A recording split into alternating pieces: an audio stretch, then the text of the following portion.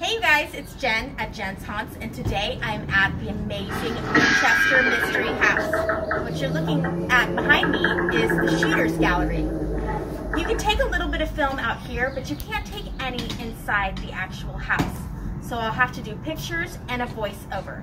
But I'm gonna be, I'm gonna give you the best experience I possibly can, and like a lot of pictures. So you might want to have a seat and get yourself a cup of coffee. I'll see you inside. Hey you guys, in order to give you a better look at who Sarah Winchester was, I did some digging and this is what I found out. Sarah Pardee was five of seven children to Leonard and Sarah, born in 1839.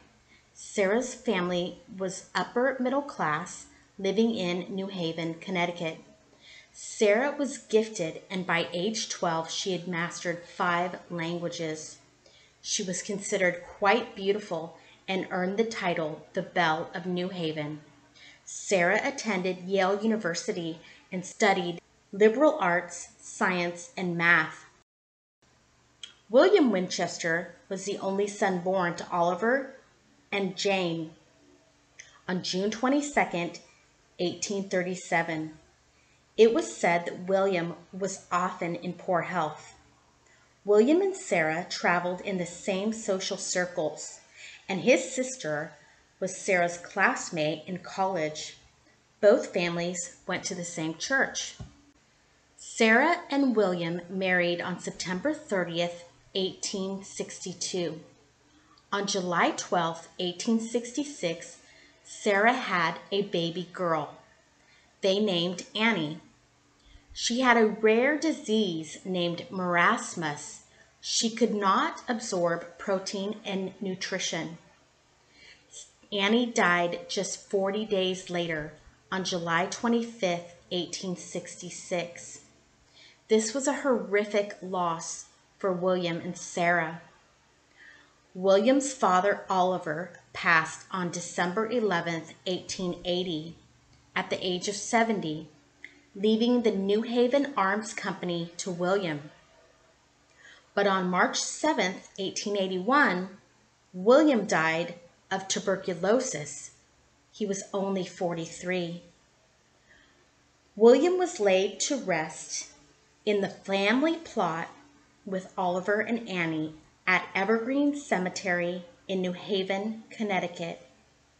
With William passing, Sarah was now the wealthiest woman in the world, with 50% holdings in the Winchester Arms Company and $20 million. That's roughly $530 million in 2019. Sarah collected $1,000 a day.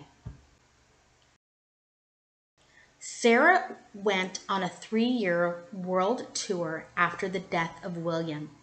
At some point she began to study Francis Bacon. He taught numerology and higher levels of insight. Some say Sarah's house is one big numerology puzzle with messages everywhere. After the American Civil War in 1865, it became popular to seek out a medium to speak with your dearly departed. And that is just what Sarah did.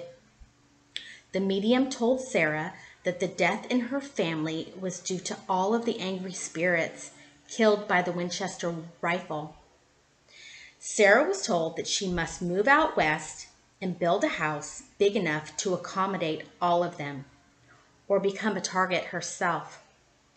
In 1884, Sarah moved to San Jose, California, with two of her sisters and their families, one being Isabel, her older sister, and her niece, Miriam Daisy. Sarah purchased an eight bedroom farmhouse with 161 acres of farmland. Sarah did build for 38 years, and she was never alone in the house. Her favorite niece, Daisy, lived with her for 15 years. Work on the house was 24 hours a day, with a night crew and a day crew to keep the ghosts at bay. She employed 18 gardeners, 18 servants, a nurse, companion, and family always around. By 1906, the house was seven floors. April 18, 1906 at 5:12 a.m., Sarah is sleeping in the Daisy bedroom when the San Francisco earthquake hits. The devastation is immense. Sarah is trapped in her room and had to be found and dug out by workmen. The house you see today is only three floors. Sarah cleaned up the damage and locked the door and abandoned that side of the house. Over the years, Sarah spared no expense. It is said that she would travel and purchase the finest woods and exotic materials from Japan, France, and Britain. Beautiful wallpaper and stained glass. But the stained glass you see is not all Tiffany's. During a recent renovation at the Winchester, workmen found a envelope in the wall. It contained a stamp for John Mullen, a glass artist in the late 1800s. The stamp read Pacific American Decorative Company. Sarah loved spider webs and the number 13. With webs in the glass and 13 spokes on the railing, and her will had 13 sections, which she signed 13 times. Also found over and over again, groupings of 3 and 7. These are all very important numbers in numerology. Over the years, Sarah made a house that worked for her. Little steps she used later in life due to her arthritis. Her secretary is her niece, Miriam, seeing or delegating to all of Sarah's needs. With all the latest technologies of the times, gas lighting, indoor plumbing, tube intercom system, later electric lighting, generator heat, and a location board, Sarah would hit a button when she needed something, which would drop a card below to indicate her location in the house. And let's not forget the door to nowhere that leads in a nice drop into the garden below. May be helpful when you're escaping a ghost, or stairs that go to nowhere to confuse. The Winchester Mansion is over 24,000 square feet with 160 rooms, plenty to hide in from a ghost. But none of the furniture that you will see is original. And if you look closely, you'll see a few cracks in the walls from the San Francisco earthquake. With 2,000 doors and 10,000 windows, all the doors have beautiful glass windows, even the bathrooms.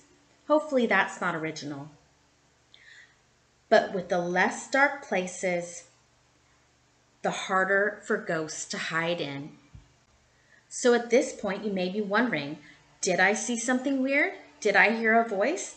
Well, to my surprise, in creating this video, I realized that I did catch something odd in a photo of the stairs to nowhere. I will give you a really good look at that at the end of this video. Maybe Sarah just liked to spend money with her 47 stairways, but the people she employed earned two to three times what they would anywhere else. Many worked for her for over 30 years. Sarah always provided breakfast and dinner for everyone. With 13 bathrooms, one shower fit just for her. Sarah was 4'10 and 95 pounds. She had six kitchens, and Sarah also built the Winchester Chest Clinic in New Haven in the name of her husband and donated to orphanages in honor of her daughter Annie, the little girl she did not get to keep. One wine cellar that she had boarded up due to a dark handprint on the wall, probably left by her servant, and three elevators. One beautiful conservatory with birds and plants and 52 skylights. Why so many skylights and windows? So the ghosts do not have a dark place to hide or corners. With 47 fireplaces and so many glass windows, and a servant to tend to the fires. There was no insulation at this time. Every fireplace must have been necessary. The seance room is the only room with bars in the windows, with a secret escape door that leads to an unfinished room, but it does have heat. The seance room has one entrance and three exits. Sarah had the only key. It is said that she would contact spirits to help her with building plans or to try to talk to her husband. And for ghost stories, there are plenty. The man on the left is Clyde. He is known to hang around the wood burning furnace. A man with a wheelbarrow full of ash or coal, still hard at work tending to the fireplaces. And if you take the tour, you may feel a gentle tug on your clothes. It's said that there are footsteps in the water tower. Security guards have heard talking or walking on the third floor level servants' quarters, only to find nothing when investigated. Dark shadows that are human shaped, there but then gone in a blink. Faces in the windows and in the hallways. But in the end, Sarah lived to be 82 years. She died September 5th, 1922. After her death, her foreman, John Hanson, who worked for her for over 32 years and met with her every morning to discuss her ever changing house plans, and his two sons, who grew up on the farm tried to tell the paper how nice and generous Sarah was, but that didn't seem to be the story they were looking for. When Sarah passed, work stopped immediately. It is said nails are left half in the wall, hammers abandoned on the floor.